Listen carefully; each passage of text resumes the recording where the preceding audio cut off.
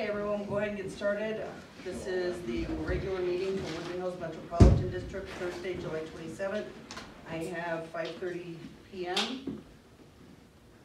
First item is call to order. Sherry Ringen present. John Martin present. Chelsea Ives present. Troy Stinson, present by phone. And we will, um, I'll make a motion to excuse Stacy Popovich. She is actually deployed to a wildfire. Second. Any more discussion? All in favor? Aye.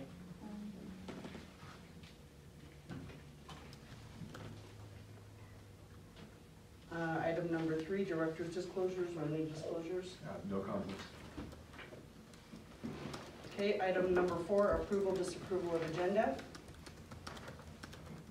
I'll make a motion to approve the agenda.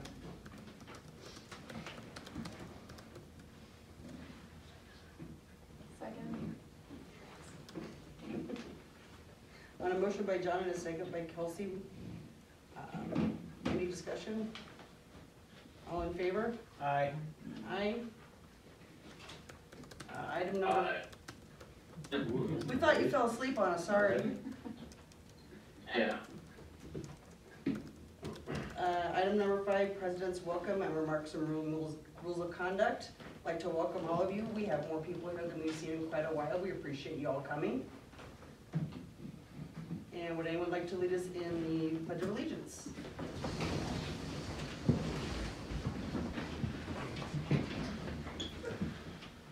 I pledge allegiance to the flag of the United States of America and to the republic for which it stands, one nation, under God, indivisible, with liberty and justice for all. Thank you, John.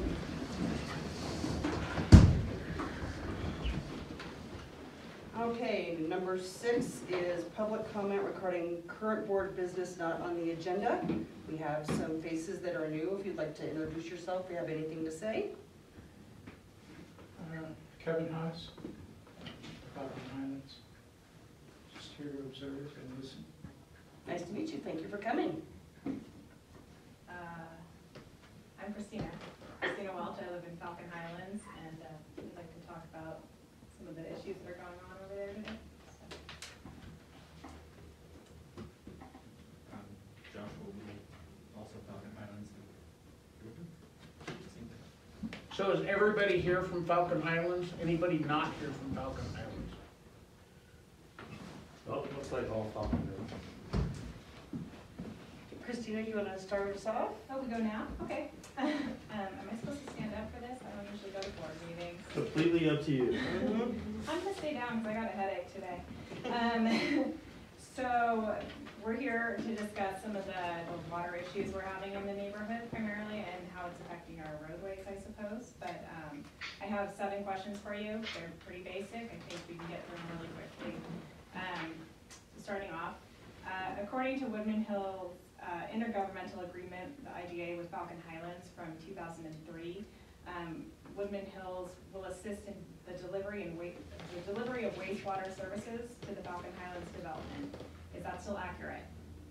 Yes. Yes. Pretty basic, right? You couldn't find the updated version of the agreement, so I gotta clarify. Um, additionally, it states that the Falcon Highlands Metro District shall be responsible for the design, construction, installation, maintenance, and financing of a complete municipal wastewater collection system within their boundaries. Is this still correct? Yes. Yes. Okay, thank you. Um, considering this and any amendments made to the IGA after two thousand three, who owns the wastewater system in the Falcon Highlands development? Falcon Highlands Metropolitan District. Okay. Thank you. And then, who is responsible for the maintenance of said system? Falcon Highlands. Who's responsible for maintenance Well, on the in terms of wastewater like, pay- system? in terms of paying for it, They pay, and any maintenance needs to be done, that is Woodmen Hills does the maintenance on the Maintenance part, system, right. but the financing comes from Falcon Island. correct. okay. Um, Let me just make a note here. And finance. Could I, you asked who has the responsibility, right? Uh, yeah, for the maintenance. So Is it correct if Falcon Highlands is financing it, even if you're performing it. Right, It's they're Falcon still Highlands' responsible. responsibility. Right, Correct, They've hired you, correct. basically. You're your Correct. agreement. Okay. Um, so if they're hiring you, then does Woodmen Hills keep records of the maintenance performed on that system? Yes, we do. Okay. How far back do those records go? I know for sure at least three years since I've been doing it, but At beyond least. that, we have to look. Yeah, we'd have to look through our records to see what we have. Mhm. The lift station, we have a lot of records on. Yeah, okay. Um, and then does Woodmen Hills utilize a camera system for any of their system inspections? Yes, Okay. Have you ever used that camera to inspect the sanitary underdrain system in the Falcon Highlands development? nope, we don't do anything with under drains in Falcon Highlands. Okay. And why is that? They're a headache we don't want. It's not ours, so underdrains have never been a responsibility of Woodmen Hills, whether it is on the maintenance side, um, or design, anything like that. We have nothing to do with underdrains. So any underdrains that are in the Falcon Highlands Metropolitan District's boundary is solely the Metro District's responsibility. We do not touch them, we do not do maintenance on them, nothing. Does that include the sanitary underdrain? What's, I, I'm, I'm director of finance, so I'm looking at Walt, Uh, because You he's the say director. Walt? Under drains are simply for moving wastewater or water from around the house, so it doesn't flood No, basement. underdrains are for moving water away from foundations and structures. Yeah, there's no such thing as sanitary under drain. I'm gonna show you- There, there I'm gonna is. show you this map that everybody has signed off on, when, when this development was So, constructed. just a quick direction to the board, um, for It's these really floor tiny, discussions, but. members of the public are free to Eyes ask can't see questions, there's no right? obligation to provide I'm an answer. magnifying a lot Um, less. You can, couldn't you get know, it provide answers if you wish, right you there. What does can that compile say? questions and publish something later, That's what um, we were- or simply be Is silent. sanitary It's under really up what to we you. were Yes. doing a board member, I'm a It board says member this is of the Falcon Highlands, she utility to us Layout sheet. real late This in is our a last map board showing meeting. the with water and same- sanitary lines. have- We don't have any answers because we haven't researched any of it. Do- Our engineer Do we is wanna talk aware about any of this stuff. why so- that's considered a sanitary underdrain? Cause I'm prepared. I mean, this is Sanitary the usually refers to first we've wastewater. been approached about this. Okay. So I think it may be best, and I'll let the board answer, um, on this, but if we can get, gather all the questions that you guys have, and then we can have some time to put a thoughtful response together versus just coming off the cuff. I think that would be more appropriate in getting you guys some, some more answers. I'd like to speak to that if I may. Christina, it is, right? You came into the Falcon Highlands Board um, two hours into the board meeting. I did not know what was But, going but on you there. hit all the uh, same questions with us. No, I asked you specifically some different questions. Well, the questions that were asked to us, and I'm a board member of Falcon Highlands, that's why I'm trying to help understand all this.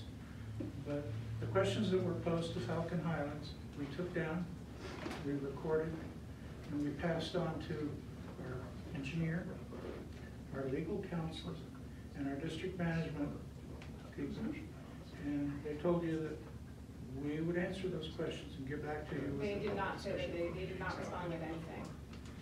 We We asked We them, told you we would get back to you with, with and we asked that you respond, we gave you a week to come up with a response, to which we received no response. Mm-hmm. Nobody responds to This, something this, like this wait, in a week. this is not a Falcon Highlands meeting, so this should not be discussed. I I understand, So. but I'm just clarifying Good for, point. Yeah, it's, this, this is a Woodmen Yeah. Hills Metropolitan District, Yeah, so that's I- getting off. track. underdrain So I think that after discussion with, So it's, you know, has Carter, nothing to do with us. with Carter and with the attorney, if you would please present us with the list of questions you would like answered so that Carter and our team can Well, that research. was, I don't have other questions for you at this point, Yeah, I okay. just wanted, I asked those basic questions, and beyond that, I mean, I have a clear understanding of what this system is doing in our development, and so I don't have questions, but if you guys wanna have a meeting, because we do believe that it's part of the sanitary system, and there are several reasons to support that, and the fact that everybody else just says that it isn't, isn't, like, that's not quite accurate, and regarding the questions that were asked and why we have to come to you at this point about this is because we specifically asked Falcon Highlands to provide documentation showing that the ownership for the systems, the underdrain systems, like they said, had been transferred to El Paso County, because that's what they keep telling us. But they have not provided any documentation, and El Paso County says they do not accept responsibility for those types of systems. So at this point, it's not believed that that. El County has no record Yeah. that they accepted And it is, responsibility. you know, if they, Falcon Highlands put it in the ground, they owned it originally, it's their responsibility to produ- produce the, the paperwork. I'm sorry, I cut you And off. Troy, did you want to say All something? we have, all we have is a maintenance and operation agreement. We are, we don't handle under drains. If If, it if, let me doesn't ask go you, into the sewer line, we don't control it. If, if Falcon Highlands asked you to check it, would you check it? We cannot, we don't have the equipment to do under drains. It, um, so you guys know, and we can confirm this with engineers, but it is necessary infrastructure for maintaining your sewer lines in this high groundwater environment. Well, if they're saying they don't own it, though, so it's Falcon Highlands Okay. that owns it, so. To but- maintain Falcon Highlands sewer Falcon line Highlands, so. I'm guessing, because they incorporated twenty-five thousand dollars this year, which they've never had in the past, and I've been there for over thirteen years, for stormwater and wastewater, or stormwater Drainage. drainage. So I'm not sure why all of a sudden they included twenty-five thousand dollars, and at the same time, saying there's no problem, that we've never paid, that I've been there for twenty-five, for thirteen years. So I'm guessing you're gonna get some money to do some inspections from Falcon Highlands, is my guess, because Well, that's money. well, I'll just explain, we don't have the equipment to do those. No, no, types no, of I don't know, what- I don't know what kind of have to hire It's just, it's just, And it's, that's not part of the maintenance agreement, so we mhm. would, we wouldn't handle any type of inspection like that. that, that, this is all great information for Yeah, I us, mean, it I'd like really to is. see the details of that maintenance I'm saying, agreement. can 'cause anybody provide the maintenance details that is included? Yeah. Uh, Oh, because we, you know. That's a good question. The same thing as Christina, I have made phone calls to Woodmen Hills, to Falcon Highlands, to El Paso County, to, and we have bigger problems than what she's explaining, uh, at my personal home, and nobody will give you an answer. It's literally this the entire time, and Woodmen Hills says that's not their responsibility, Falcon Highlands says that it's been contracted to Woodmen Hills, and El Paso County says, we don't know what the hell you're talking about. And so if we could get some kind of maintenance agreement to where, we- I mean, I think that's our right as homeowners, to know who is maintaining what, why, and where. And if Um, you guys that's a have an big thing. agreement that says it's not you, then it's not you. Then Yeah, it's not- anybody that's who what- wants to produce that type of agreement, we can certainly go look and talk to the next person in line, but it's just I mean, going we're in to the circles, point to it's where I nonsense. pump five million gallons of water out of my basement. That's where we're at. I haven't counted, but it's been going nonstop for three months. Mine's Like, been going on since the road work El Paso County did. Mine's been going since before that. And if you study our drainage maps, there's certain areas throughout the development that are being like severely impacted. Those are primarily on the lower, like southern side of the drainage. Everything flows to the southern sides. We've got two different systems and the homes that are on those bottom areas are being like destroyed. We- I don't know, So you you guys- have, uh, uh, I need to speak for just a moment. Um, so this has been a common problem since two thousand thirteen. Since No, they no, started No, no, no, building. it's not. Hang on, hang on, Since they- please let Troy finish, please, thank you. So, so when they, s- when we first had the big storm in two thousand thirteen, since I've lived in Woodmen Hills, uh, my basement flooded. Um, and it's one of those where, as they construct further north up Meridian, it's higher ground. We have more water runoff coming to the south. Now, every time that we've presented, or my, me individually, I can't speak for Woodmen Hills on this, I'm speaking as an individual homeowner, uh, within Woodmen Hills, and that is, is that my basement flooded, and there is, we tried every avenue. Uh, and other than, and you can't even get flood insurance to cover that. Uh, it's a matter of personal protection, I paid to replace all of my window well. Uh, it's a construction issue, it's not an under drain issue. It It's how they construct these houses, um, and how they don't, uh, properly affix window wells to the house. My sump pump has been running for almost two months straight now, uh, because of how much water we've gotten. It's a common problem out in El Paso County and the unincorporated area. Unfortunately, we as a board here with Woodmen Hills, our maintenance and operating agreement with Falcon Highlands is only to operate the sewer system. It has nothing to do with under drains, French drains, sump pumps, anything in your home or around your home. Uh, our maintenance agreement is strictly to operate and maintain, uh, the sewer. And that maintenance agreement, they, your Falcon Highlands should have a copy of. And let, let me ask you one, uh, on that, Troy, would that include the sanitary underdrain system that's part of the sewer system to protect it? So other than the sewer lines, I have no idea what you're talking about when you're talking about a sanitary underdrain. We deal in sewer lines, but we don't deal in under drains, never have. Which- anybody, which That's always been a problem in the county. does anybody want an explanation of why it's part of the sanitary Well- system? It, and, and that's, that's understandable, because a lot of people don't realize it till we discovered it through all the filings. So it is technically part of the sanitary system. It's designed as an under drain for the sanitary specifically. Uh, so now, and I, and I know if you guys aren't aware of it, like everybody else has been, that's totally understandable. I mean, it's like, we're not here to come up, we're just here to try to come up with a resolve to the issue that we're going on. And like I said, I've been there in that place, well, maybe fifteen years now. I never had a single water issue at my location until they performed road work in twenty twenty. My sump pump began pumping May of twenty twenty-one. Up until then, it was completely dry. So the road work performed did something to the system that takes excess water, whether it's underneath the sanitary system, part of that, if it ties into that, we don't know. However, it hasn't stopped pumping since then. So something has gotten damaged from the road work that was performed uh, to affect us and affect our neighbors. And recently, more recently, more neighbors. Because I think it's a compounding issue of sediment and improper maintenance of any of those systems that help move water away. I have my original geotechnical uh, drawing. I don't have groundwater. My groundwater, when my house was built, was nineteen feet down. My, the, the, uh, brain fart, uh, Bedrock? Is at thirteen feet. So something is going on between the thirteen feet of my basement to the basement that is not technically underground water. It has occurred since twenty twenty.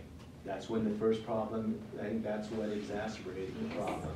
I have a, I had a monitoring well drilled at my house to monitor groundwater for the under drainage system, and my groundwater has been between four and seven feet from the top grade of my driveway since, um, June of this year. And I understand there's a lot of rain, but if you go to where the under drainage system daylights, there's not a single drop of water coming out of it at all. I have pictures and a video of that, if anybody wants to see it. Where does this? And you mentioned two thousand Daylights in the thirteen. tribute. You mentioned two thousand. two. Drainage behind Walmart in the neighborhood, that little drainage, there's a little pipe that comes out. Well, And per the A- Again, I Woodmen. Hills only is taking care of what goes through your sink drain, what goes through your shower drain, what goes down your toilet. Just, I just wanna make. a That's note. what we take care of. Quick record before Troy. So uh, we've been there since at least two thousand eight. Two thousand thirteen, our sump pump never went off. So all the rain you guys talked about, it never affected us. It hasn't affected us up until twenty twenty-one, so. Can I just show you this other construction drawing for the development, so that you understand why we're saying this may have something to do with the sanitary system? You know, you're right. This is the, um, this is actually the under drain layout, so the map I showed you previously. This shows our sewer and water lines. Sewer. Yeah, the It's teeny tiny. Be your water Yeah, line. it's just the. Well, oh, yeah, I mean, the water lines. So the original um, design.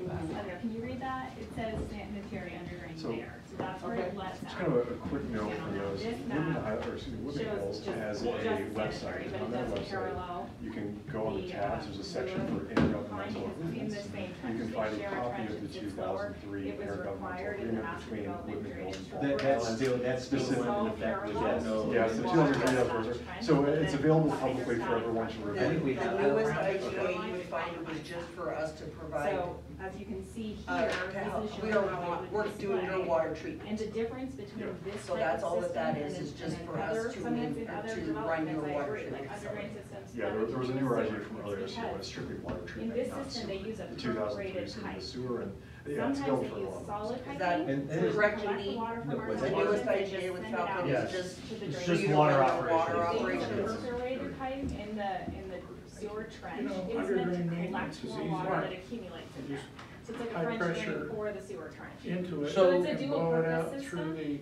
And right now, the Also, road, daylights. like at Antelope And I Meadows, think that's what we're asking, we're getting just trying to figure dangerous out and what's wrong. I because do there's million so dollars much in damage water. to my house. our, packed our, up into our that district system is, is, our deep, district, Falcon Highlands, Stabilizing the is trying to soils work through around that. your line. that you We've been in touch with the concerned. engineers, we Okay. got the lawyer We will, involved to again, determine whether the they're gonna is collect all the in information. So, And I we, lawyers So I, that again, guys, I We think, just- I think we're getting a little distracted. we are, Um, yeah, it was Please just, just submit everything that you have to Carter. Carter will do the research that we can give you guys.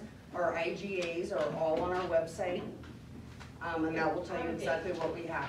no, no, she said, she said that, that, The the two That's- thousand three but you years, guys- but on the door, is is it door or DOLA or something, too many sites, it said that there's an amendment for two That's thousand twelve. water operations. So that's for water operations, that's for us to operate your water treatment Okay, and then you facilities. get, that wasn't from twenty-three? We did update it at that Again, point. so there's two more updates? There's a, Just for water operations, it's nothing to do with the sewer. Okay.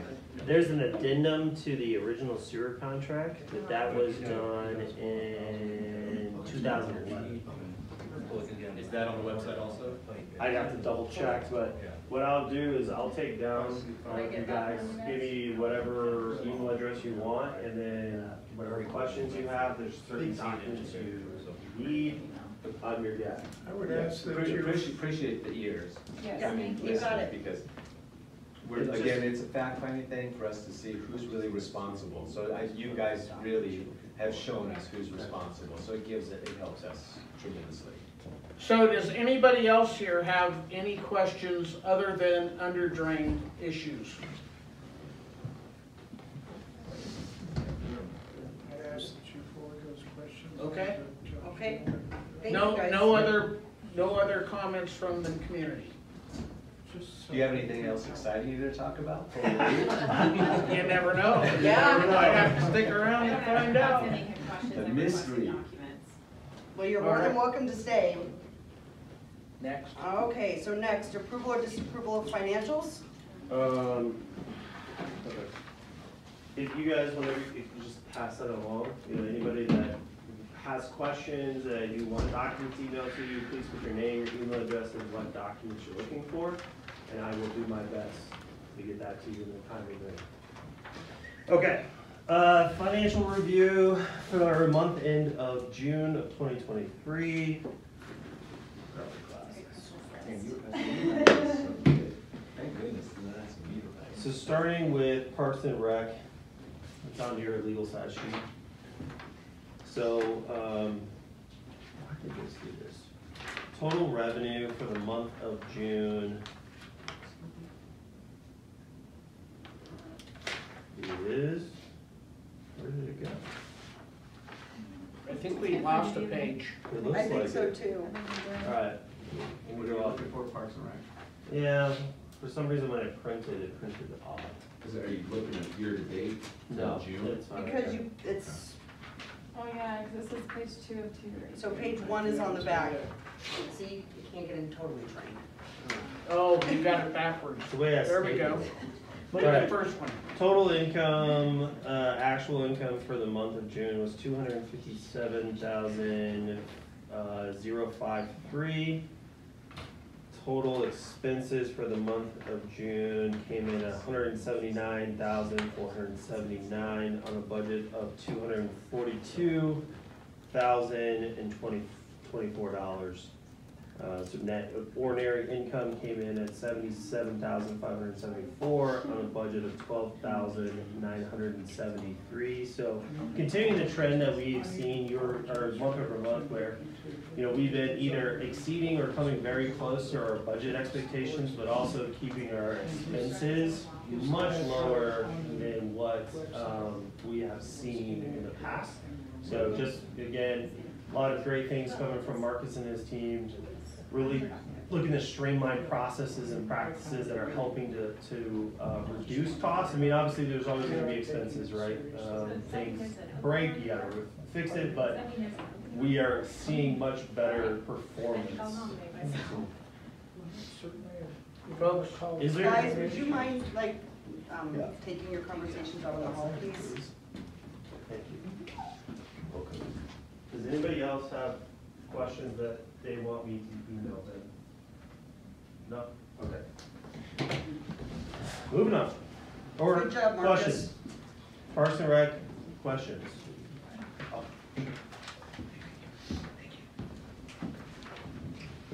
No? Good? Marcus, do you have anything you want to say about? No, it'd be just an example of some of the streamlines that we've done. We were looking at everything top to bottom on what we can do, so one of the things we've done is we looked at how much we are paying for part-time staff to be gym attendants at RCE and here, with a bulk of that going to room rentals, really being here to unlock doors and things like that. So we kind of reevaluated with doing that, we've actually hired on a full-time custodial that works those same hours, but we're saving money by having the one person versus, um, the part-time staff kind of all over the place.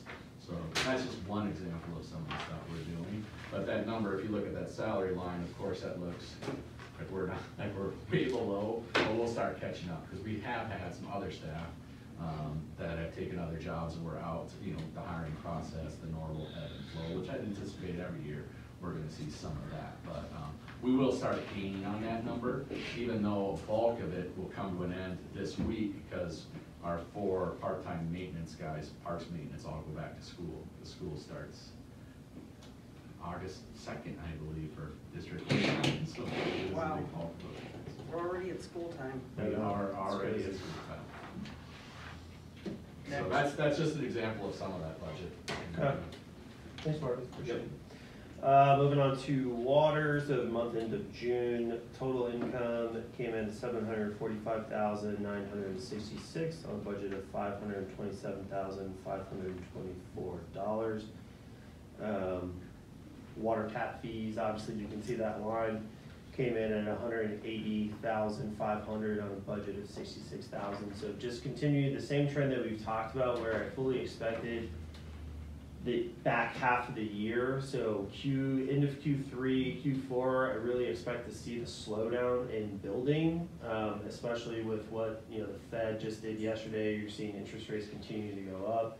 Inflation, yes, is coming down somewhat, but, um, people are just not buying as many new homes, uh, but there was already plans to build homes throughout this year, but I really think they're front-loaded, uh, so I don't expect to see this continuing. Um, so we're, we're just getting our, our money kind of ahead of time versus kind of spread out throughout the year.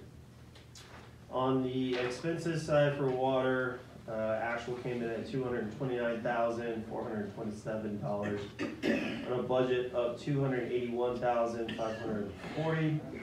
Net income for the month actual is five hundred and sixteen thousand, five hundred and thirty-eight on a budget of two hundred and forty-five thousand, nine hundred and eighty-three. Uh, so was able to keep expenses under budget while exceeding revenue expectations. You'll notice that the district residential water use was much lower than the expectation, but that, as you all know, we've been getting a lot of rain, right? And this was the month of June, financials. If we are not, you know, if we have a lot of rain, then obviously we're not pumping a lot out of our wells, people aren't irrigating as much. That's why you're seeing a decrease in the revenues. Um, it's nothing to be worried about, it, it's just common, uh, based off of the weather. Any questions, revenue or expenses for water? Okay. Moving on, wastewater, uh, month of June, total income came in at five hundred and seven thousand and thirty-five dollars on a budget of four hundred and twenty-five thousand fifty-one dollars. Again, same thing, tap fees, right, in line with, uh, what we saw on the water side. Um, but the residential sewer use was much closer at ninety-nine point one seven percent or more.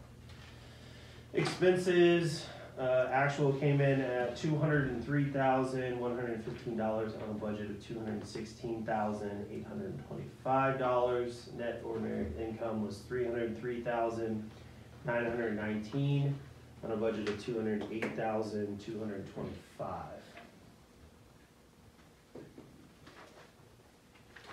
No issues, either revenue or expenses, you know, we've been talking about some of those expense lines that we know um, have been trending up with, with a full expectation that potentially sometime in Q4, we may see a budget amendment, it would not increase costs, it's just would lower our net income values.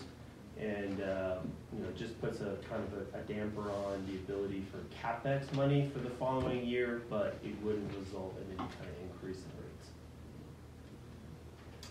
I'm glad to see that the last three pages is in the correct order. You know, I tried. This packet was only hundred and fifty-seven pages long, so, just saying. All right, total district. Um, total district revenue for the month of June was one point, uh, one million, five hundred and sixteen thousand, two hundred twenty-nine, on a budget of one million, two hundred seven thousand, five hundred seventy-three. Total expenses came in at six hundred fifteen thousand, seven hundred forty-seven, on a budget of seven hundred forty thousand, three hundred ninety-one. Net ordinary income came in at nine hundred thousand, four eighty-two, on a budget of four hundred sixty-seven thousand, one hundred eighty-one. Um, again, we exceeded expectations on tap fees.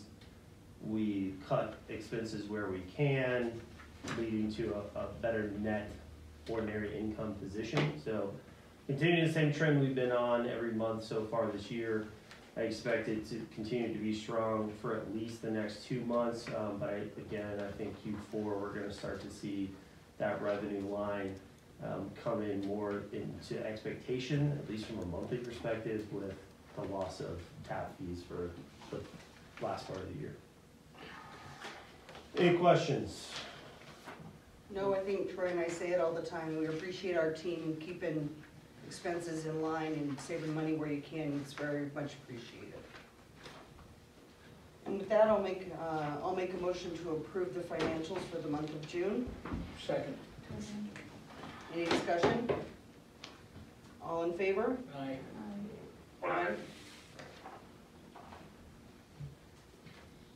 Okay, next item on the agenda is to ratify the application requesting an extension for the filing of the 2022 audit. So I'll give some background on this one. So as the board is aware, we changed audit firms this year um, from SKR to Biggs Kofford.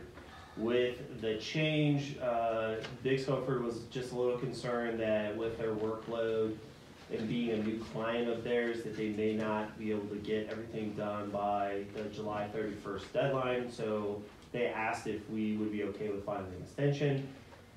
And so uh, I got that in front of Troy, the president of the board, as well as Stacy Popovich, the treasurer of the board, and they approved that um, extension. It's nothing on our end, so there are no outstanding items that the district is responsible for giving to the auditor. It is simply in the auditor's hands.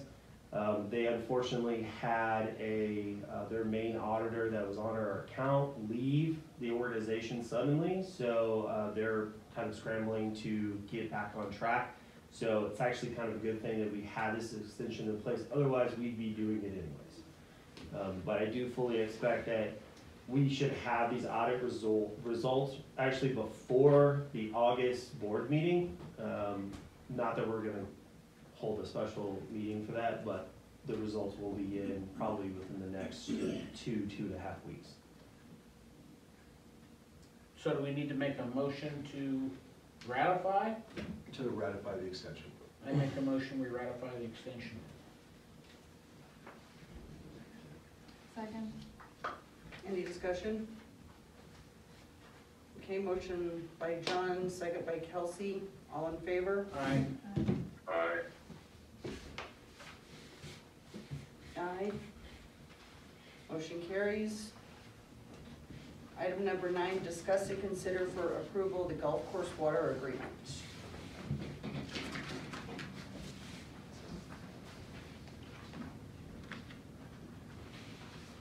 It's in your packet. It's in the package, John's got a, a hard copy. So the other, everyone else already signed it, uh, basically it's an update from the two thousand three agreement we had. There were some big legal issues associated with it, as well as the cost of delivery was substantially lower than what it is now. We fixed that, um, one of the other things we were able to change out of there was, one of the options they had was to take water off the Guthrie wells for water in the golf course. This agreement takes that away. It's an option, but we don't have to acknowledge it. So this agreement means the golf course can only use the water coming off the wastewater plant and the native flow off the creek. And there's cap limits on it, they're guaranteed, guaranteed four hundred fifty thousand gallons, they can go up to six fifty, I believe. Uh, once you over the four fifty, the pay structure changes a little bit, a little bit more in our favor. Puts them more on point for what they should be paying. Because we mentioned before, uh, ever since that two thousand three agreement, they severely over allocated their water update out of that stream. Well, I know you guys have put a lot of hard work into this. I know it's been back and forth, back and forth several times. And definitely appreciate all the hard work and coming to a final agreement with them that everybody's happy with. Um, is this the copy that needs to be signed? Yes, sir. Well, They, uh, that should go to you. I don't know if you printed one for it. well,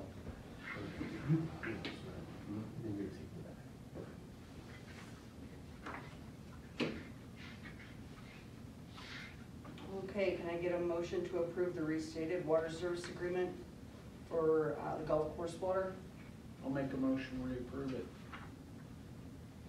Second. Motion by John, second by Kelsey, any discussion?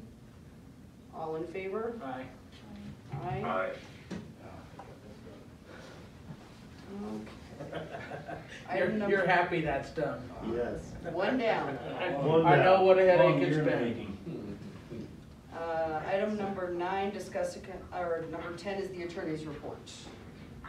Yeah, not a lot of surprises on here, all these are carryovers from last month. Uh, The one thing I'll point out is the very first item, uh, memo regarding uh, disclosure requirements under the line of credit issuance that we, that was previously approved this year. Um, That will be sent to you here in the next couple of days, so I just wanted to point out that that wasn't currently in your inbox. Um, Unless there are specific questions on anything else in here, um, and some are coming up in a little bit, I can answer questions or allow the meeting to continue.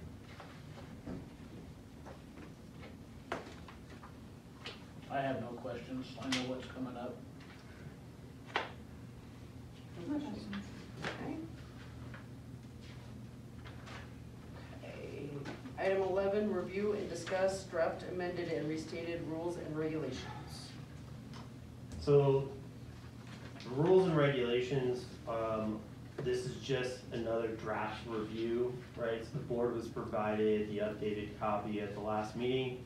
We are still working through a final draft that we expect to have in front of the board for review and adoption at the next meeting. Uh, but this is an opportunity for the board to let us know if there's anything that you guys saw in your first pass that you want us to address um, If not, we will continue with the draft that we're working on now. We'll provide the board an update in the August meeting.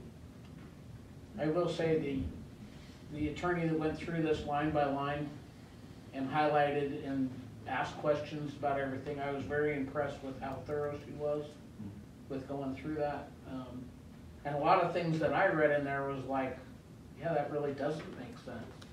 So hopefully when we get done working through all this, we'll have a much better product than what we had before. I'll pass it on to Heather. Any more discussion on that? Does anybody have anything they wanted to add? Troy? No, I'm good. The directors are still doing some edits with John and Heather, so there will be a final draft, um, that will have some slight changes going into the August meeting, so just be aware of that, but as of right now, it's nothing, I don't think it's material changes, right, John? Most of them are probably immaterial changes. Uh, Truthfully, I haven't looked through the latest draft in the last couple of weeks, That's so fine. Heather was on top of that.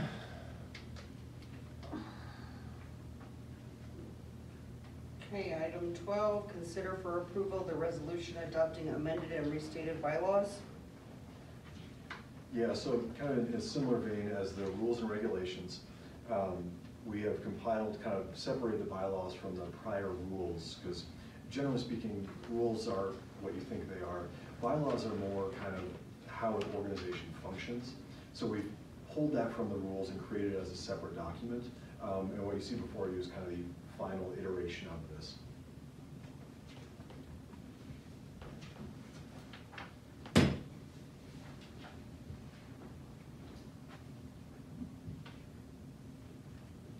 So the final bylaws are attached as exhibit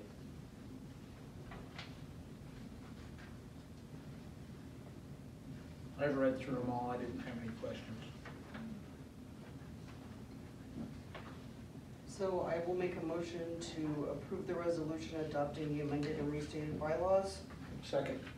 Any discussion? On a motion by Sherry and a second by John, all in favor? Aye. Aye. Motion carries. Okay, item thirteen, discuss policy regarding production of water and wastewater reports. So just uh, some background on that. Uh, Kind of learned a little bit this morning from the county. We're gonna have another meeting coming up in two weeks, but starting around late last year, beginning of this year, we used to give out commitment letters for, you know, whether it's, you know, one business, a group of homes. The county will no longer accept a, a commitment letter. They need a full, so for the water side, need a water resources report, and for the wastewater side, need a wastewater disposal report either can be anywhere from fourteen to twenty-five page documents, they're custom to each development, and being new to us, it's expensive. Um, we just had to do one for paintbrush for a church up there, the two SFE church, it's probably gonna cost us forty-eight hundred dollars, we're gonna get fifty-three hundred off the tab. That's, and talking to the county, they agreed that these costs should be passed on to the developer. That's not a cost we should have, even though it's a new regulation they're requiring. So this is gonna, method to put in place, it's gonna be similar to an escrow account where developer wants these reports before they can get the commitment letter that has to go with it. They're gonna put money into an account, so, uh, RESPEC will draw the funds off of that for the report. And if there's anything remaining, it'll go back to the developer. And if it's a large development that goes over the ten thousand at eighty percent, they'll kick in, that's another five to cover those costs. So we're still involved in the process, but financially, it covers us.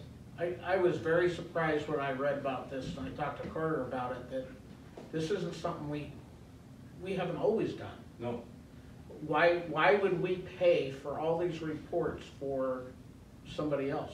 exactly. It Should have never been our responsibility. No, and we never got notices that this was gonna change, it just as developers, we started getting commitment letters, the county started kicking them back to us and requiring this report. That, these reports take four to six weeks to put together, I don't expect our engineers to jump through hoops to get these done, there's bigger fish to fry, but this is a way to still get them done and cover our costs. Perfect. Just a clarification point, um, the money will be deposited with the district, so it'll come to, to my office.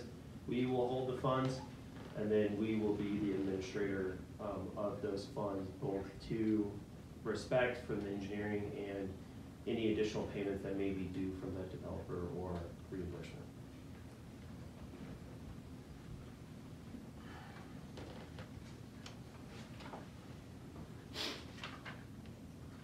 Any more discussion on that?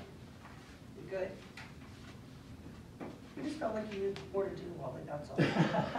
No, I don't want to push. I can spend money quite easily, I don't need that for reasons. That is true. That is true. As you'll find out later. Uh-oh. Troy, I'm feeling sick, I think we need to cancel the meeting. You guys are doing a great job. First. Uh, next, I- item fourteen, Park and Rec report. Uh, before you do that, you guys have to vote on that policy. We tried to skim past it. It I just know. said discuss, it didn't say nothing about voting. You know you have to give me very clear directions, Carter. I just did. There was a motion and a second, wasn't there? I thought so. That was for the bylaws. I'll make a motion, we approve. Any more discussion? All in favor? Aye. Aye. All right, now you can move on. Thank you, boss. Oh, Parks and Recreation, we're cranking in summer. Uh, we got another concert coming up on Saturday. Um, it's Playing with Smoke will be the band. Um, filing eleven, um, HOA will be out there again this month, so if you're in filing eleven, they give you a five dollar coupon that you can use at the food trucks or the beer garden, so. They better not raise my HOA fees. That's not me, that's, that's a whole nother board meeting. Are you in Iowa? Yeah, I did not know that. Yeah, I'm so come sorry. over, me too. So come over and get a beer. It'll be, the weather's nice.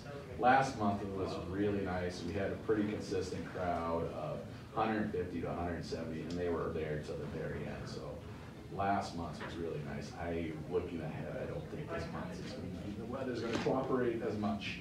But we at least got one so far that was really nice. Um, we are, talked about turnover a little bit. Um, Allison, our fitness supervisor, gave her, um, resignation. She's gonna be moving, she's from Texas originally and moving back to Texas. So in the process of recruiting, um, fitness on that. Stephanie is leading that, um, that recruitment uh, for that position. So hopefully we've got two candidates so far. On paper, they look good, so hopefully we'll get someone good out of that. Um, Pool closure, we, I've ade- um, changed that a little bit. Initially, when I approached you guys in the winter, we talked about doing a full facility closure. The more I look at that gym floor, I'm hesitant to do anything on it quite yet. It's in good shape. So if we don't have to, we don't want to. So we're not gonna put anything on that right now. It's going great. That floor cleaner does an awesome job. Um, It's just in really good shape. So if we don't have to start putting layers on it, we're not going to. So we're only going to do just the pool closure for a week. And then the, the main thing of that, we're gonna do is a full closure. Um, by any of my records, I can't see when the last time we did that, but we have to take pictures of our grades, our VGB grades, and put those on file, because we don't have those. And then we'll inspect the, um, inlets on those as well, and all the components. And a big thing is cleaning the pool deck. Um, there's just a lot of deposit and, um, stuff that we have to do on that, and the shell. So we'll clean the deck and the shell.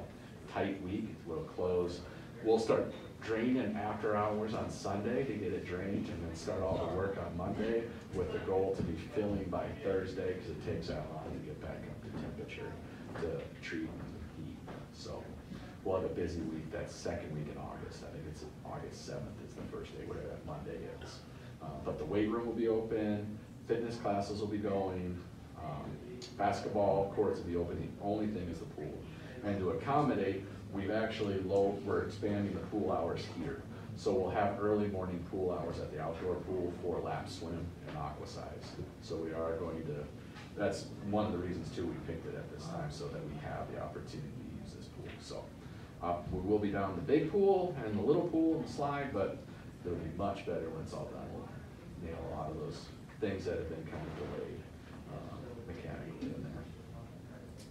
Um, and then irrigation, it's been a struggle. It went from super wet to super dry really quick, so we've been monitoring and tweaking all of our stations to try to get the, the direction I gave today is to do a three zone, uh, three time event on each of the areas where we're doing an eight minute, a ten minute, and then a four minute on the zones. So it's basically the twenty minutes that we do, it's twenty-three minutes, but that first one will, will get it somewhat saturated, then it'll actually penetrate on that second one, and then come back again, so, um, well, that, that should start clearing up some of those, some areas are starting to go dormant already, we just, just got hot quick on it before we could start getting those things adjusted, so. But we started working on that, um, the monuments, we started work on those, a lot of weed pulling, getting the drip lines, none of the drip lines work, so we've been monitoring those. But we planted flowers, so we did perennials, so Will did great, he did, uh, some knockout roses, some, uh, daylilies, and then if I'm right, I can't remember, I think he called it Sylvia. I- Flowers are not my jam, so I needed to rely on Will for that. But they'll, they'll come back each and every year, so we just weed, monitor, they'll look real good. We've got some plans, especially for this one, where we don't have a drip line, where we're gonna go more of a zero scape this one out here. So we are going to be getting, addressing the monuments and getting more mulch and rock on different things too. We've just been kinda busy, again, with the waters created some issues. Um, Kind of put it in here with some of our retention ponds that we've been kind of working on a little bit there, so, but uh, I think we've got a good plan on those two. We just gotta get them dry until we can start executing those plans and those detention ponds. Doing great work. Thank you. Appreciate it. Thank you, got a great team and we're having fun. Summer's our fun time. But we're all looking forward to Labor Day, so. Yes. And so that reaction, so- or that Captivate software, how's that looking? It's good, so we're in the process right now, working on kinks. Cause what that, the, the big thing about that, what's gonna be awesome is, we're gonna have a really good way to push out to our residents, whoever downloads that app, on anything that happens. So if we have a snow closure, a class cancellation, things like that, now we'll have a really good way to push that information out. Um, so they're working on that for us right now. Should be, they said they wanted thirty days to see how they can implement it for us, and then they'll build the app. They'll make it with our logo, so we run the app store on Android or iPhone, it'll be our logo. So, and then there, obviously, as he's going through right now with Tyler, there's going to be bumps anytime we do a software rollout, so. But that's, that was one of the things that why we looked at that software, is because we were using our outgoing messages on our phones and Facebook for closures or class cancellations, and with the new, the algorithms on Facebook, people just aren't getting it. If we do a, that's something, instructor's sick and they can't make it, we put it out, one out of ten might get that message, so people still show up, so it's, it's, it'll be five thousand dollars annually, which we can build, we have in our budget right now for sure, especially in those line items, and then in the future, we can easily, that's not an amount we can, the, the impact that we'll get from it and our residents, um, the frustration levels will be, it's well worth it on that to have. It. And then, once we do get it, we'll just put QR codes everywhere, so everybody can download it, and that'll be the biggest thing, is getting everybody onto their phones, and then we can, because, I mean, we've had close, or a late start, I don't know if we closed ever, but we had a late start or early close at least four or five times this last winter, where we were struggling, and people would still show up, and, you know, you feel terrible, because usually I'm the one that's the last one there, you got three feet of snow out there, you're closed, and inevitably a car comes in, you feel terrible, because they're coming in and they didn't need to, so. Um, I do have a question. Yes, go ahead. It's, it's not, I didn't see it on here, Mhm. and maybe you said something about it, but the tractor. Did- Did you wanna bring that up today, or did you wanna wait? I wanna wait on that, cause I'm monitoring the budget, I'm not looking at, um, we're looking at different equipment that can make our life easier when it comes to the detention ponds. Um, in the past, we've done a lot of contracting out, spent a lot of money for other people to do, to maintain our properties. And, um, talking with, I say it wrong, I think it's Modesto Brothers, the ones that sold us the gators, he came in to check on the gators, and we were having a conversation, and I was telling him about some of our challenges, and they got what's called our Ventrac, it's a tractor that has multiple attachments that you can put on it. One of the attachments is a boom mower, so you can reach that arm about fifty feet out, so that we can keep it on dry ground and get these cattails down and get them so they die out, and in the winter, when it's ice is up, or we can get it on it, we can do the rough cut on it, which is basically like a flail, and really get it down, and once we get that stuff down, and the nice is it has four tires on, or two tires on each end, so it's double the amount of tires. So it has a, it doesn't float by any means, but it's certainly in mud and bog, cuts right through it. So this would be something where we could, it'd be roughly twenty-eight thousand for the tractor. Then each attachment, the boom mower is the most expensive one, that's about ten, but the other one's like, we, had it's called a landscape rake, because once you get all that debris down, you gotta get it up, because that was the problem we had in the past, we cut these cattails down, storm comes, pushes them all towards the outlets, so has that rake on it where we can rake them out and get, and, um, load them up, and thanks to these guys, we got a dump truck already this year, so we can use that skid steer and dump truck to load it up, so we're getting to the point where we, I would like to see us get more self-sufficient and not have to rely so much on outside work, because they're gonna do a markup, they're renting the equipment, they're doing all that, so.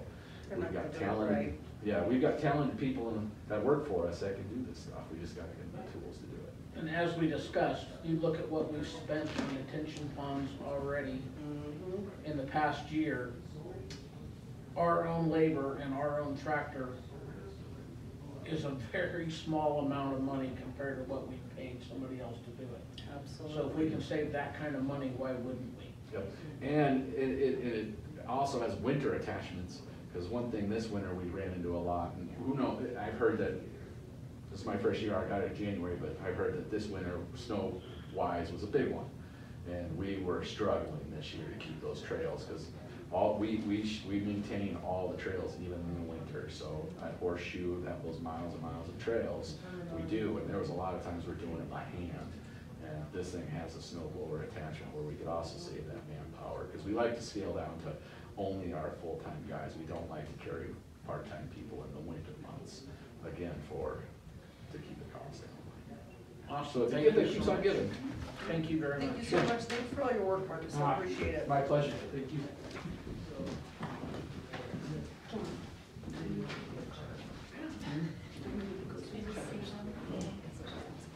Yeah, I can do. Oh, sorry. You okay if we keep going?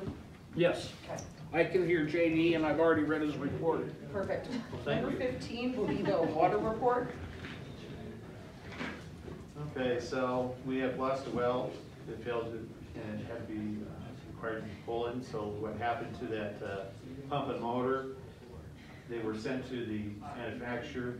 Uh, What happened is the shaft between the motor and the pump sheared, so we only had like half of a pump assembly and the rest of it is sheared off of there. So that's gone back to the manufacturer to see whether that's a defective warranty issue, and we're hoping that will be the outcome. And so, uh, that failure, that happened during the use, is what we call a catastrophic failure when something's in operation. Happens, but it's very rare. Uh, so it was nothing with operations of what they were doing or anything, of any changes of that. It's a mechanical issue that happened. So, uh, the next item up is the Thera pump station upgrade. So, or update, the rough interior plumbing and electric conduits that were under the concrete floor before pouring the cement is now completed. Uh, the cement slab is now also been poured over those conduits, that is completed as well. Uh, the next thing that they had to do is the housekeeping equipment pads. What that is, is that supports critical equipment. It serves for weight bearing loads and vibration to minimize that so that none of the equipment can come off and go wherever it is in the plant. We don't want to have that. Um, At the same time, when the uh, subs come in and do those other various things, Glacier would have to have uh, other things to do. So one of those things is, is that our water operations staff had to decommission the well site three. For them to start connecting all these lines going into the new plant. So that was done in-house. Uh, so when we take a well out of service, uh, we start losing production. So right now, we're doing pretty good as far as production is concerned, uh, even though they're down three well sites. uh, Just because of either construction or, or equipment failure. So just be mindful that one of the failure sites that it's out of production is the well site five right now. But, um, in order for them to have a safe transition continue their work, we also do. I can wear my hearing aids. Commission equipment. All this excess noise is killing me. So now there's, there's uh, five lines that uh, they have connected to the new plant. And so they, right now, as the date, they got two of the five into that plant. They're working on the third one right now. Also, because of the certain connections that we have to reroute water from, so we're down a tank. So we have the small tank that's down out of commission. Um, It's a small part of water that's, that's taken out of the inventory, not really impactful at this time. But if the shoe was on the other foot, say if we had lost our one million gallon tank and we had to take it out of production, things would be kind of hairy. It'd be kind of hard to keep a two hundred and fifty gallon, fifty thousand gallon tank full and without it overflowing and losing water. So that is out of production there, it is isolated, it is empty. So it's, that tank is slated to be decommissioned to have the new one million gallon tank when the new Thera plant gets a little further along in construction. So what happens to the water in that tank, we had to drain it down safely that, so we didn't lose uh, pumps and and that, so we got as much as we can before we had to isolate that. So we minimize the loss of water out of that tank that's drained out was very minimal. Uh, see here, as of uh, seven nineteen, I already covered that. Inside equipment, filters, pumping equipment, the VFDs, the process piping will be put in place either with forklifts or cranes before the framing of the walls. That has already been taking place. We have a building today. Two days ago, we did. Nice. So we have walls, we have a roof on there, we just have to wait for the roofers to come in and do their dry ends, and then more equipment to be moved in there that's, uh, weather sensitive, uh, mainly water sensitive. When can we go on a field trip? You can do that right now. I, you Anytime asked me you this want. A week ago, I said, well, you, all you're gonna see is a slab sticking up above ground, but we have a building, so you can see that. Neil can see that from his, uh, from his front porch, so. I'm sure he's happy about that. Yeah, I'm pretty sure. He's thrilled. So, that's, uh, where we're at with, uh, with, uh. Then the younger water update, as part of the continuing due diligence period, a thirty-day extension was made for finalizing the mapping of the well sites and easements in its third phase present, or presented to the younger family. And then there's a titling descriptions of the well site locations and easements, it's also included with that. There are a few details to be worked out during the extension period, which will end at, uh, August fourteenth, so I'm pretty confident that those will be resolved. And we'll go forward with that. And then, um, as of seven nineteen, there for Falcon Highlands Metro District, the only thing they still have going on is the Sherwin-Williams store that's in its remodeling phase. There's no other projects over there currently. Uh, then the Bentgrass Residential, Bentgrass Commercial, uh, Falcon Marketplace is still in the final stages of developments. Falcon Highlands Metro District, again, it's just the Sherwin-Williams remodeling of the old First Bank that they're occupying. And then we have the D Water forty, uh, D's District School Water, uh, D forty-nine for the water distribution and sewer mains that they're installing currently. Um, It's been quite uh, challenging for their project to get that under control, so they're doing pretty good now. We have That was because of all the water, right? no, they have major water issues, groundwater. Uh, For example, they had a four-inch pump that had pumped nonstop for hours. I'm thinking probably, I think it was a twenty-four hour period, to set the first manhole. And it's, with that pump, it was everything they could do just to keep it down where they can install the, the manhole base and, uh, to get that started, but then they've been fighting water issues all the way up. They just turned, today they just turned north up, away from the Falcon Highway. And so, far as I know, this road's supposed to be opened up where now both lanes of traffic can go by instead of having flaggers throughout the night. They had flaggers out for the last two nights.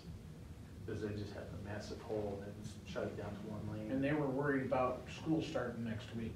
They had that done before school started. They're supposed to be already done, already up to the bus barn. And so just get to where they're at right now. I mean, they're out of the bus lanes for now, but at some point they're gonna interrupt that. So I don't know what they're gonna do for that. Uh, our Bac-T samples were, came back good. The state samples were collected for the nitrates. They came back and they were good. Uh, there's a lot of, uh, uh, no detects, so that's within the district. However, if we get water from the Guthrie wells, uh, in particular, we'll just say just the alluvial well, sometimes the nitrates are higher.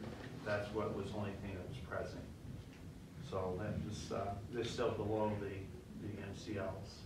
That is the maximum uh, level of contam- contaminants that's allowed.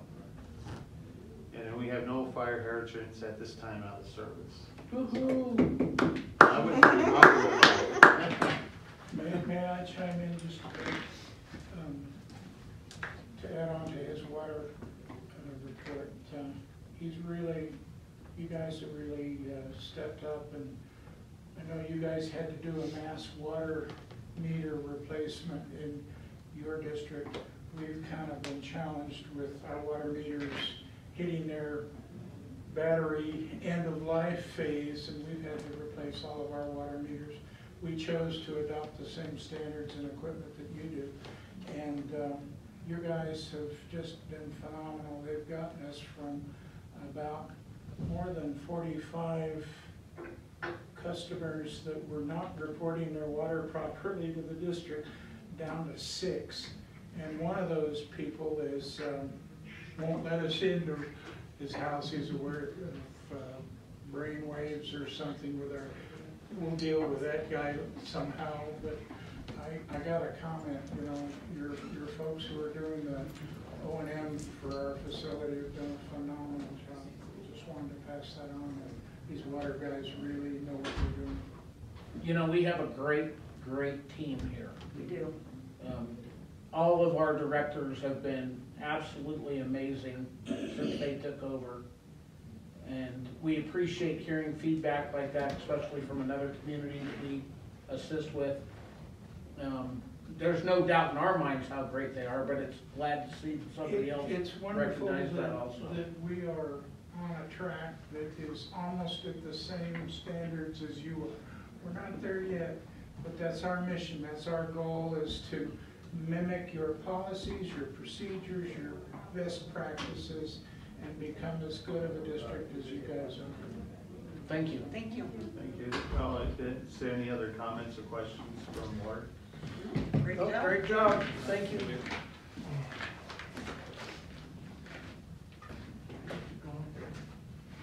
Just to make you uncomfortable.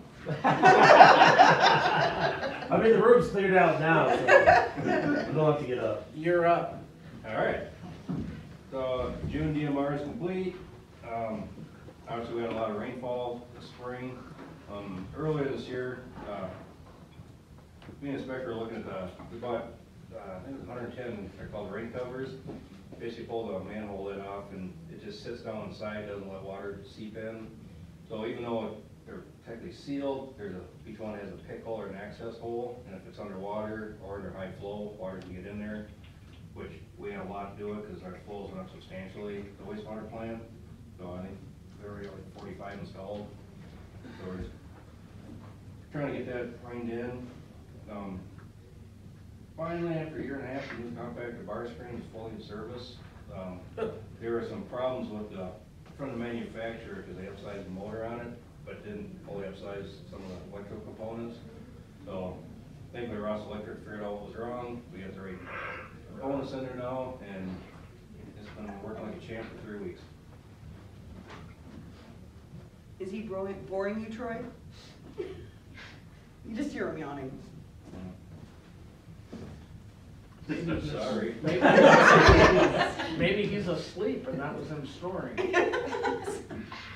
Could be.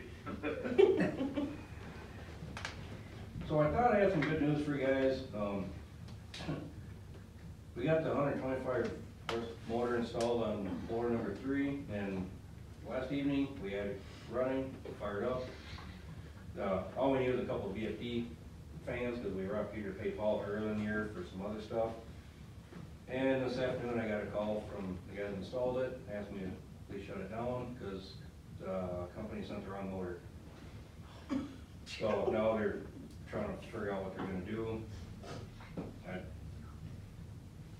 I won't tell you how mad I was, but, so, we're still only have two blowers after, uh, nineteen months now.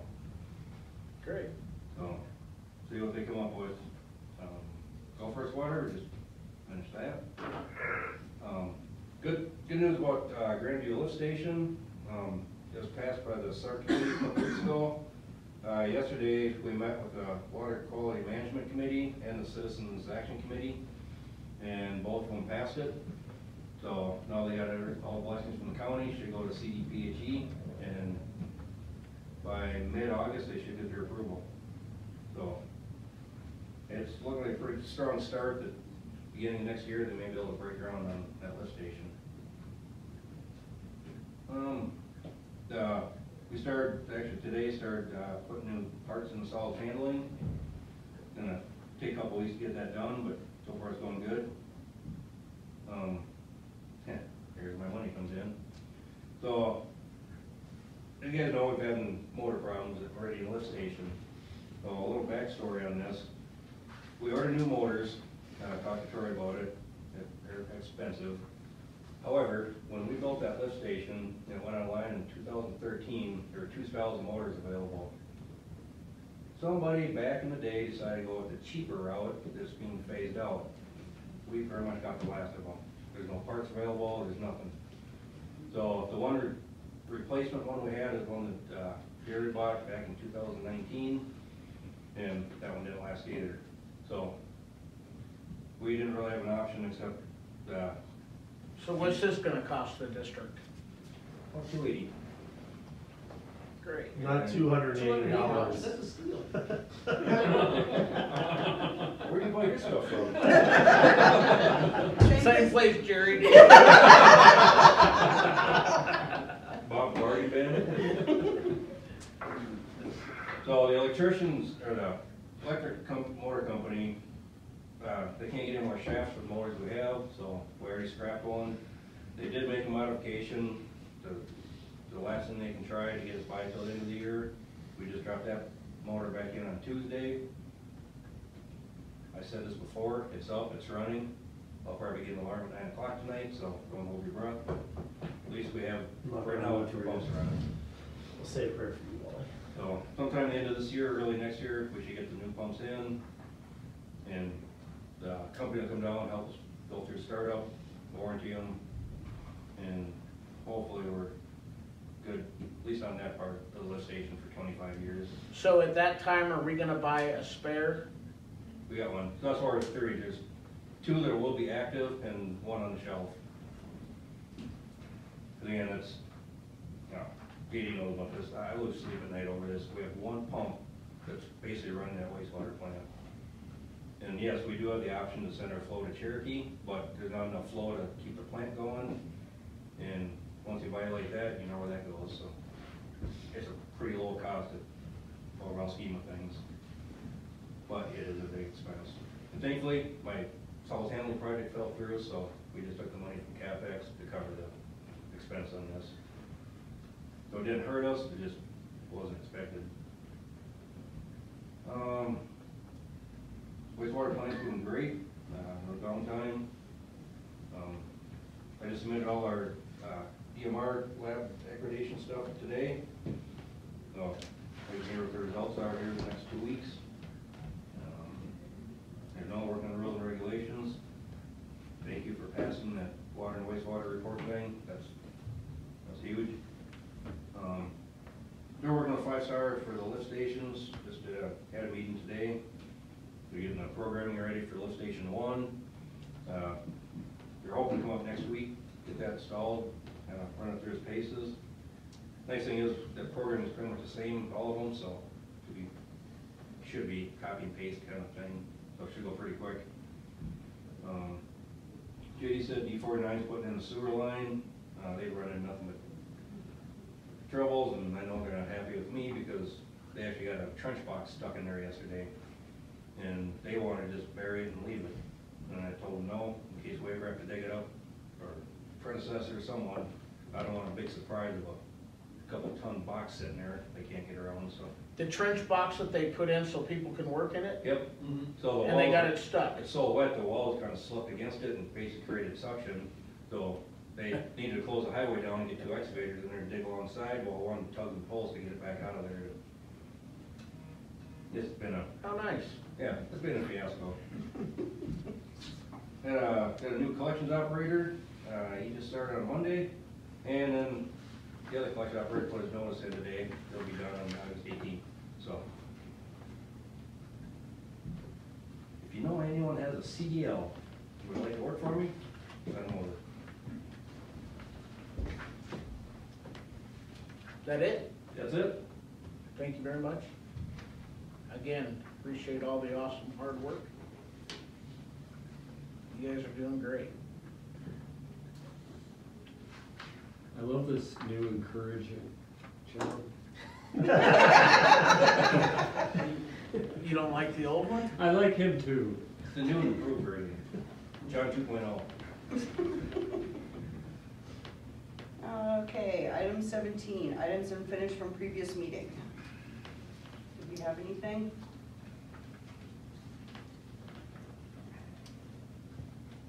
I don't think so. Item 18, board follow-up on older items. Do we have anything for that? Nope. Okay, item 19, executive session for determining positions relative to matters that may be subject to negotiations under CRS 24-6402-4E Namely, Falcon Highlands Water and Wastewater Agreement, Younger Water Purchase Agreement, and the CMD Water Agreement. And uh, I'll leave you, but thank you very much. And I wanted to pass my support on for that, that you're about to discuss. And we're, we're glad you guys are on our side. Thank you very much. Good. Thank you for coming. Have a good, have a good one. So, All right, by, uh, make a motion. I Can will we make a go into motion. executive session? You're making one? Yep, just did. I'll second. Yeah, no problem. Motion by John, second by Sherry, any discussion? Nope. All in favor? Aye. Aye. We are in executive session after John goes to that one. Any other business? Uh, You were gonna talk about the new task force? Yeah, so this is actually, you know, we sent out an email about this, and with all good intentions, sometimes they go a little bit awry. The, this latest legislative session uh, calls for the creation of a metropolitan district task force. This is actually a task force that's gonna be created at the state level, not the individual district level. So there's nothing that the district needs to specifically do, other than provide notice to homeowners that uh, this task force Daniel? exists. Yes, Oh, sir. Has a notice been sent out, do you know, to homeowners on that Metropolitan District Task Force? Not to my knowledge. Okay, I'll follow up with you after this. Okay. That would come from you, correct? When you say notice sent out, you mean published? Uh, not published, just email blast. That would come from me. I get, I'll I'll do follow up with you, not a big. Um, so basically, just notice needs to be provided to homeowners that this task force exists prior to the first meeting. First meeting hasn't been scheduled yet, we have plenty of time. Uh, and then we're recommending that language also be posted on the website, just in case doesn't, someone doesn't check right. But that's basically it, nothing else is required of the district in terms of creating a task force. and all we can see. Our council said uh, she got wind that it was in November when they're coming, How's that sign? but, you know, there's plenty of time. Is, does Woodmen Hills have a requirement to put this out? There is a requirement to notify homeowners. I thought it was, I thought, Troy, wasn't there something that we were, we really didn't have to, but we're going to anyway because we like to keep our members informed? Didn't I read something about that? Well, this, it is statutory because they created a task force. I, I understand, but there was, And you- Troy, are you still have to do there? hello? Okay, well regardless, I'm here, I'm here. Woodmen Hills is sending this out so that all of our members, all of our residents are notified. Perfect. Next. Um, so in regards to the draft second addendum, addendum to the international government between Woodmen Hills and Falcon Highlands, um, after discussion, the board has decided we will do no more work with that second addendum, addendum, but we would like to begin work on a memorandum of understanding for consolidation of Falcon Highlands. Is that correct? Yes. So, um, help me understand, the IGA that is in draft is, is been shelved or? Yes. Por- portions of it, yes, Okay. yes. So the, the direction from the Woodmen Hill side is that we're gonna want to enter into an MOU agreement to talk about the steps that Falcon Highlands is gonna need to take in order to consolidate districts, which will address a lot of the issues on the water and wastewater side. Now, there is still going to be a second amendment, but it's gonna address, um, issues outside of capacity. So John will be in contact with Barb, your guys' attorney about that. And you are, you are one of the board I members, am a correct? Falcon Highlands Board member, and uh, that's all I am. I'm just, uh, It was an interest item for me, so I- I'm not trying to interfere with the decision or the process. I'll let it all work out. I just was curious, and I was here to offer support, and if you had any questions, I'm here. Well, I have questions, but I don't know if this is the appropriate way to ask them. It's your board. You, you know what questions I'm gonna ask, correct? I mean, you, from the questions that I asked during our discussion. I can certainly do my best to answer. I've been on the board for seven years, so I have a little bit of background. I don't wanna step on anything here. Yeah, I think that our discussion held in executive session on kind of the, well, on the matter subject to negotiation should probably remain in the executive session. Okay. But It, it is always the discretion of the board to, you know, make that decision as well. I'm not gonna step on anything. Appreciate your letting me have the opportunity to sit in on it. Do we have any other board business? Okay, um, will someone make a motion to adjourn? I make a motion, we adjourn. Second. Good luck, Troy. Any more discussion? No. Motion by John, second by Kelsey, any other, uh, that's it, uh, all in favor? Aye. We are adjourned. Thank